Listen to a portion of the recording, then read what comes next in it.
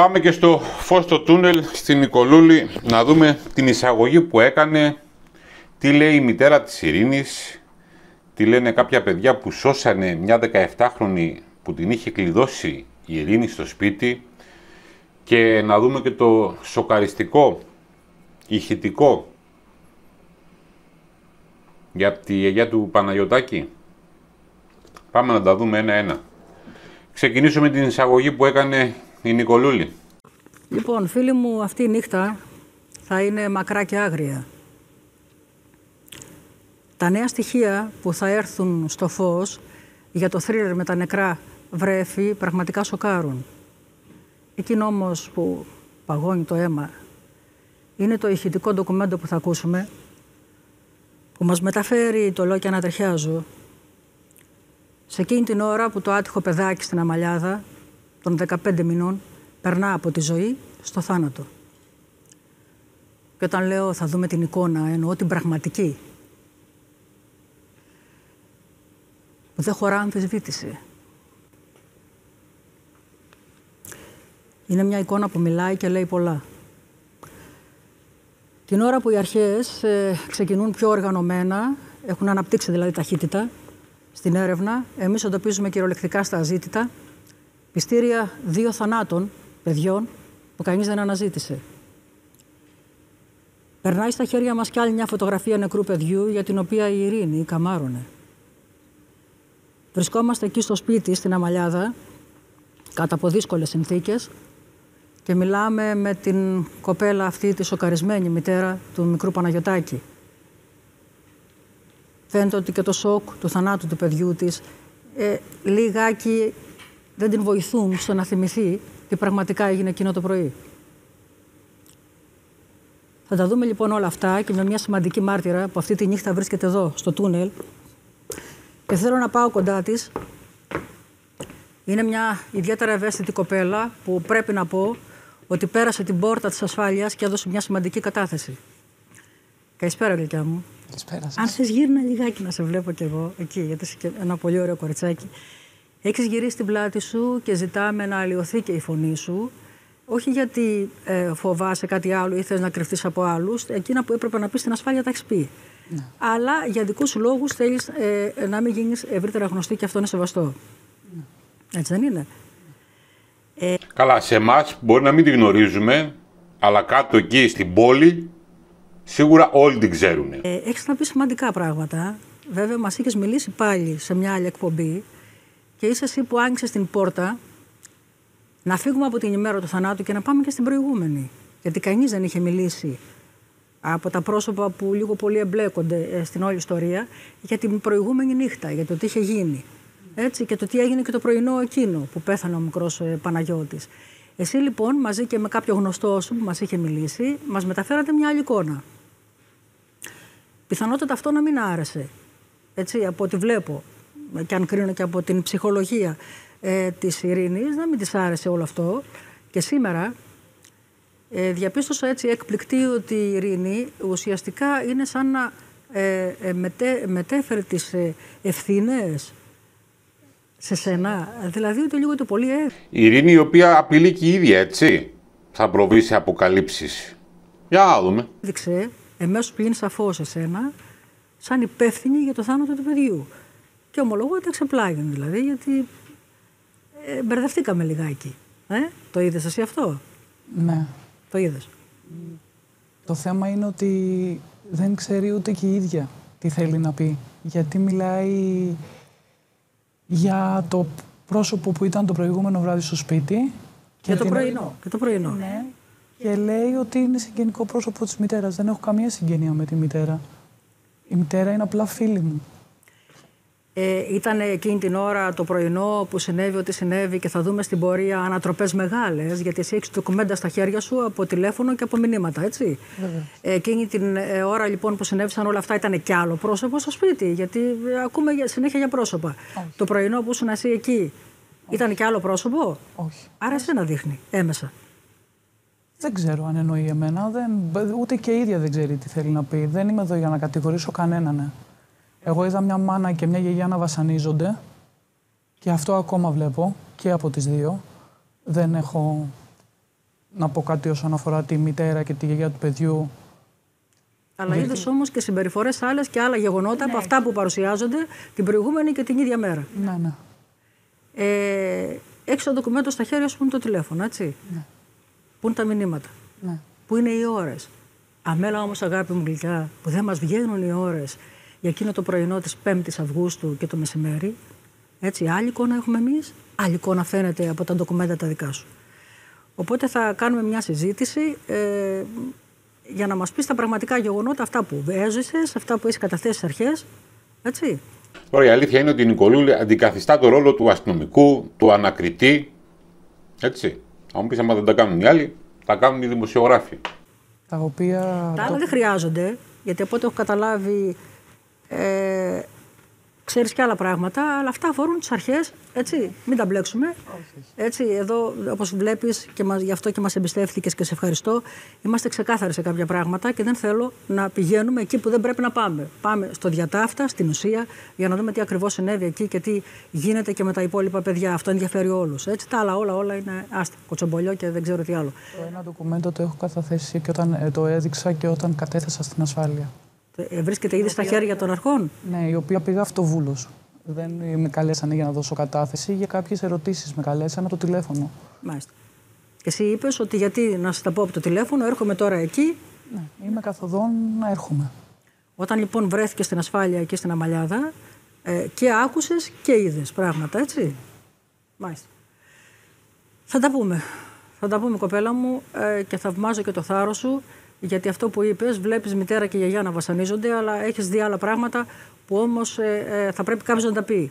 Γιατί ξέρεις κάτι, εγώ αυτό που βλέπω είναι ότι και η γιαγιά και η μητέρα βασανίζονται, αλλά δεν ξέρω αν τους απειλεί κάποιος, δεν ξέρω αν ε, ε, πιέζονται από κάτι και μέχρι τώρα, κατάλαβες, δεν έχουν δώσει λίγο και την εικόνα. Να, πώς τη δίνεις εσύ, για παράδειγμα, που έχεις τα ντοκουμέντα στα χέρια σου, κατάλαβες; Γιατί να μην τα ξέραμε από την αρχή, Γιατί τέτοιο μπέρδεμα; Ε, ζωντανό στο νοσοκομείο, όχι μετά δεν είδα, έκανε μετά δεν έκανε, όλα αυτά τα σχετικά, ενώ είναι εντελώς διαφορετικά τα πράγματα. Γιατί να μην τα έλεγαν από την αρχή, Γιατί να μπερδευτούν, έτσι δεν είναι, σε όλα αυτά. Με καταλαβέ. Και δεν θέλω να ε, υποψιάζομαι εμένα, αλλά δεν θέλω να πιστέψω αυτό που έχει φτάσει στο τούνελ, ότι δεχτήκαν μια πολύ πολύ σοβαρή απειλή, έτσι και πούν στην αστυνομία τι πραγματικά συνέβη. Θα τα πούμε. Εντάξει, αγάπη μου. Θα τα πούμε, κορίτσι μου γλυκό. Θα είμαστε εδώ και στα διαλύματα. Και... Υπάρχουν απειλές, έτσι. Και αλλάξανε καταθέσεις και απόψεις και γνώμεις. Σε ε, βίντεο να μιλάμε για ό,τι θέλεις. Εντάξει, δεν φαίνεσαι, είσαι με την πλάτη. Η φωνή σου έχει αλλοιωθεί, είναι καλή αλλίωση παιδιά της κοπέλας. Ε, είναι σωστή αλλίωση, ναι. Δεν, να μην ανησυχείς λοιπόν για τίποτα, εντάξει. Δεν λέω το όνομά σου γιατί δεν θέλεις. Μην ανησυχείς κορίτσι μου γλυκό, θα τα πούμε. Λοιπόν, δεν μου λέτε τώρα εσείς για να μην με πιέζετε μετά. Δεν πάμε τώρα σε ένα διάλειμμα για να έχουμε το χρόνο μετά να αρχίσουμε να ξεδιπλώνουμε τα στοιχεία και με τους καλεσμένους μας. Ε; Μια φορά συμφώνησες Παθάρη. Πάμε, έλα. Και έχει, έρθει, μισό λεπτό, μισό λεπτό, και έχει έρθει ήδη και μια σημαντική πληροφορία αν είναι έτσι τα πράγματα. Τι είναι, παιδί μου; Θα το δεις στο διάλειμμα γιατί θέλει. Ε, θέλω να δει αυτό το διάλογο μόνο. Που μπορεί να λέει πολλά.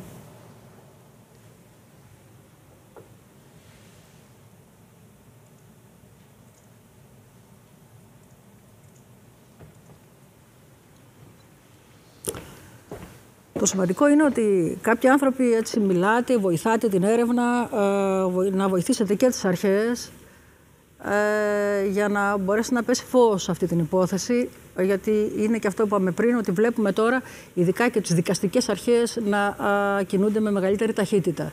Η ιστορία είναι να βρεθεί άκρη. Έτσι. Ούτε αυτό το βασανισμένο παιδί, αυτό το βασανισμένο κορίτσι η Ειρήνη να ταλαντεύεται έτσι και να βρίσκεται στο μάτι του κυκλώνα και γενικά ε, να βγάζει τον εαυτό τη προς τα έξω και να παγιδεύεται. Είναι άσχημα πράγματα αυτά. Γι' αυτό θα πρέπει και οι αρχές να έχουν ένα λόγο, να ε, δούμε τα έργα τους και να δούμε ένα αποτέλεσμα. Είναι ή δεν είναι. Αυτό θέλουμε, έτσι δεν είναι. Λοιπόν, αυτά από την εισαγωγή της Νικολούλη. Πάμε να δούμε τι είπε και στην Νικολούλη η μητέρα της Ειρήνης. Έχει μιλήσει τώρα. Όχι. Κατά δυνάμει να μιλήσει στο τέλος. Για ποιο λόγο;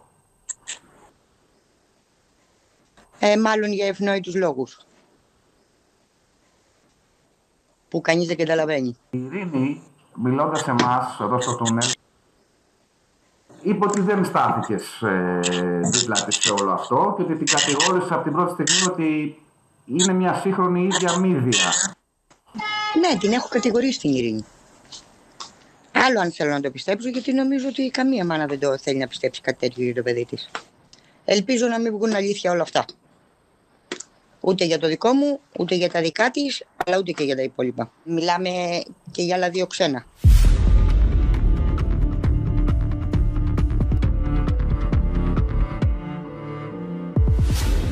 Εγώ ήμουν από τις πρώτες μαζί με κάποιους άλλους συγγενείς μου που και τότε στη δικιά μου είπε την είχαμε ρωτήσει δηλαδή την ίδια ευθέως ότι μήπως έγινε κάτι, μήπως έκανε κάτι. Ελπίζω να μην παίξει αυτό το σενάριο. Ήθελα να μου πεις ευθέως αν πιστεύεις ότι η Ειρήνη εμπλέκεται με τέτοιο τρόπο. Η μαύρη αλήθεια είναι ότι έτσι όπως πάει η δουλειά, μάλλον ναι. Να θυμίσουμε λίγο πώς έχασες το ένα σου παιδί που φέρεται να ήταν η Ειρήνη μαζί του και να το πρόσεχε και όλα αυτά. Θα μας πεις τι είχε γίνει τότε. Ναι, είχα βάλει το παιδάκι για ύπνο. Ε, δεν ξύπνησε ποτέ του. Ήρθε η Ειρήνη, μας είπε ότι έκανε κάποιο θόρυβο, κάποιο βρόνχο, κάποιο βήχα, κάτι τέτοιο. Ε, πήγα να το δω, αλλά το παιδάκι ήταν ήδη μελανό, μισοπαγωμένο, πώς να σου το εξηγήσω. Με εννοείται χαμένες αισθήσεις. Κατάλαβα ότι το παιδάκι είχε φύγει, προσπάθησα να του ε, δώσω το φιλί της ζωής γιατί μου είχε δείξει μια κυρία νοσοκόμα που είχαμε εκεί δίπλα στο σπίτι και μας το είχε ξανακάνει όταν είχε αρρωστήσει. Ε, κατάλαβα ότι το παιδί δεν επανέρχεται, δεν είπαμε τίποτα εκείνη την ώρα. Πήγαμε στο νοσοκομείο. Ε, δεν μπορώ να κατηγορήσω τους γιατρούς γιατί προσπαθήσαν για νομίζω πάνω από μια ώρα και κάτι. Αν θυμάμαι καλά. Ε, το οποίο δεν μπόρεσε να επανέλθει ποτέ.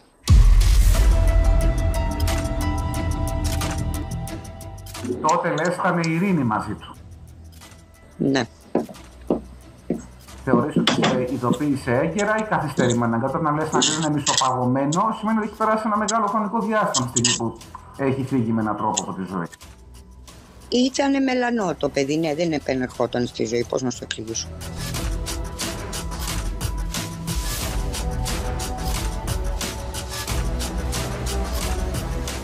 Ήταν σκασμένο με έναν τρόπο. Θα το έλεγες αυτό; Το σκέφτηκες τότε; Ναι, το σκέφτηκα. Γιατί το είχαμε πει κιόλας κάποιοι από τους συγγενείς μου. Για ποιο λόγο το σκέφτηκατε τότε αυτό, η Ειρήνη είχε κάποια προϊστορία; Ναι, είχε κάνει κάποια σκηνικά ζήλια στα οποία δεν πίστευε ο μπαμπάς. Ζήλευε τα άλλα παιδάκια που γεννιόντουσαν. Τι έκανε. Ε, ο μπαμπάς εντάξει δεν τα παραδέχτηκε ποτέ και έλεγε Όχι, μωρέ, παίζει το παιδί.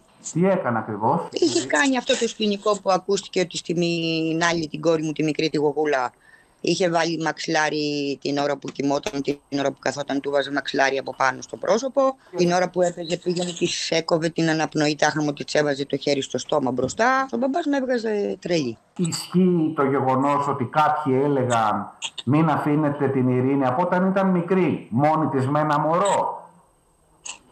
Ναι. Ε, το είχαμε πει και εμείς και ο μπαμπάς της ο ίδιος το είχε πει, άλλο που δεν τα παραδέχεται τώρα. Για ποιο λόγο, επειδή είχε αυτή τη συμπεριφορά που πήγαινε και έβαζε μαξιλάρια ή έκλεινε την αναπνοή των παιδιών των άλλων λόγω ζήλια. Ε, ο μπαμπάς δεν ξέρω για ποιο λόγο το είχε πει, αλλά ναι, υπήρχε γενικώς ένας φόβος. Τουλάχιστον από εμένα με το παιδί που έχασα, ναι. Και λόγω της συμπεριφοράς της και τα πράγματα που έκανε γενικώς. Η Ειρήνη είχε μπλέξει σε πολλά πράγματα. Έχεις χάσει δύο παιδάκια. Σωστά. Το άλλο το έχασες και αυτό στο σπίτι; Το άλλο ήταν άτυχη κοίηση, καμία σχέση.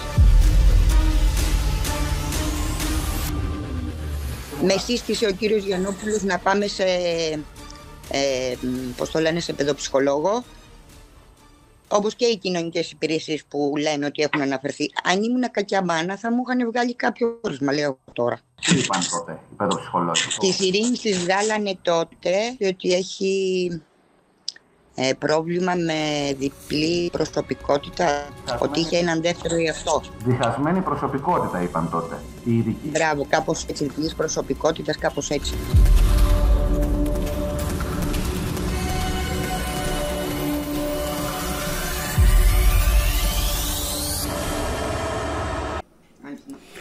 Αυτά από τη μάνα. Πάμε να ακούσουμε τι είπανε τα παιδιά που σώσανε τη 17χρονη που την είχε κλειδωμένη. Δύο-τρεις μέρες στο σπίτι. Ήταν μεσημέρι που πήγαμε και σώσαμε την ανήλικη φίλη μας. Την έχει και άλλες φορές από τα χέρια της Ειρήνης. Κατέφερε να μας πάρει τηλέφωνο και να ζητήσει βοήθεια. Ήταν κι άλλος μπροστά στο επεισόδιο; Όχι, μόνο οι δυο τους. Πώς την άφησε η Ειρήνη να την ηχογραφεί; Δεν το ήξερε. Νόμιζε ότι η μικρή καλούσε την αστυνομία εκείνη την ώρα. Φτάσατε στο σπίτι και τι έγινε στη συνέχεια; Την είχε κλειδώσει, δεν της άνοιγε την πόρτα. Δεν την άφηνε να φύγει. Μόλις κατάλαβε ότι ήμασταν απ' έξω, μας άνοιξε. Μας είπε ότι δεν είχε γίνει τίποτα, ότι ήταν ένας απλός καυγάς. Σε εμάς δεν ακούστηκε πάντως έτσι. Γιατί έγιναν όλα αυτά; Από ζήλια. Σε τέτοιες εκρήξεις η ειρήνη φτάνει δυστυχώς στα άκρα.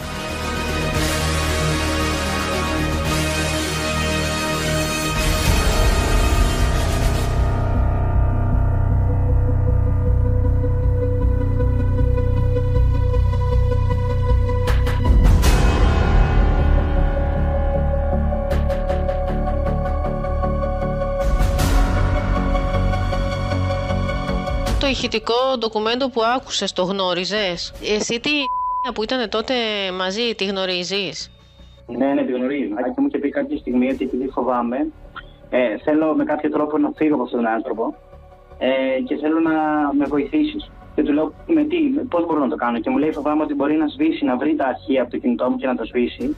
Ε, θέλω αν γίνεται να τα πάρει στο δικό σου κινητό και τα έχεις στείλει σε μένα. Τα είχαμε σε μια ομαδική. Το πρώτο πράγμα που σκέφτηκα μόλις άκουσα αυτό ήταν ότι τι θα γινόταν αν είχε γίνει πράξη όλο αυτό που έλεγε η Ειρήνη στο ηχητικό, ότι θα σου σκοτώσω. Έκανα τώρα τέτοιο σενάριο στο μυαλό μου ότι αυτός ο άνθρωπος πόσο επικίνδυνος μπορεί να είναι και πόσο επικίνδυνος μπορεί να γίνει τελικά. Όταν άκουσα το ηχητικό, τρόμαξα γιατί σκέφτηκα αμέσως τι μπορεί να ακολουθήσει μετά από αυτό.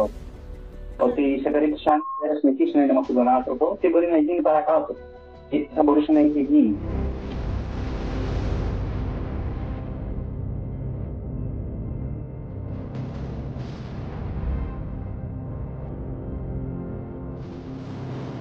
Ήταν ανήλικη τότε. Ήταν, ήταν 17, ναι.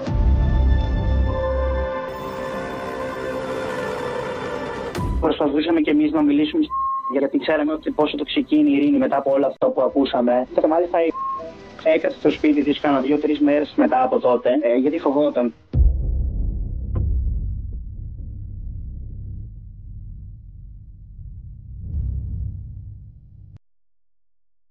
Είχε κάποιε μελανιέ στα χέρια και μου είχε πει ότι είχε χτυπήσει, ότι είχε πέσει. Ε, θεωρώ ότι το είχε κάνει για να την καλύψει γιατί φοβόταν. Και όντως φοβόταν, μετά από κάποια στιγμή μου το είχε πει και η ίδια.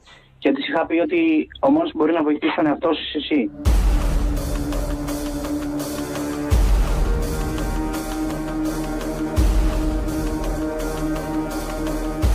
Εσύ θυμάσαι αυτό το περιστατικό, δηλαδή πότε είχε γίνει, πότε το είχε στείλει; Δύο μέρες πριν το θάνατο της Μπέμπας. Δεν ήταν τη Κατερίνα, δηλαδή 2 Φεβρουαρίου.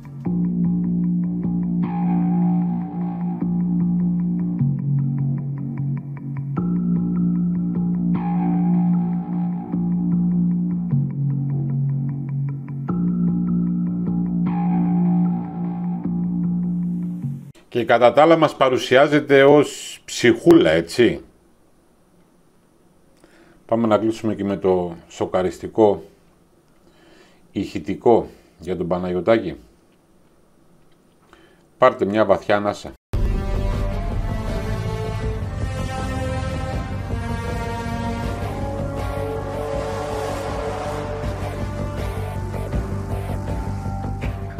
Δυστυχώς το χάσαμε. Πάει. Πάει το παιδί μας. Δεν μπορώ να το πιστέψω. Να πάω να το δω που σε κάσα. Αμπρό.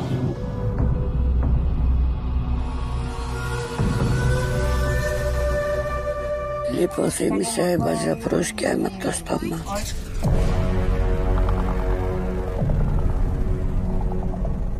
Κρίμα ρε εσύ το παιδάκι και τα υπόλοιπα παιδάκια. Μακάρι να βρεθεί μια απάντηση για όλες αυτές τις ψυχές που χάθηκαν. Ό,τι νεότερο υπάρξει κατά τη διάρκεια της ημέρας, εδώ θα είμαστε να το σχολιάσουμε και αυτό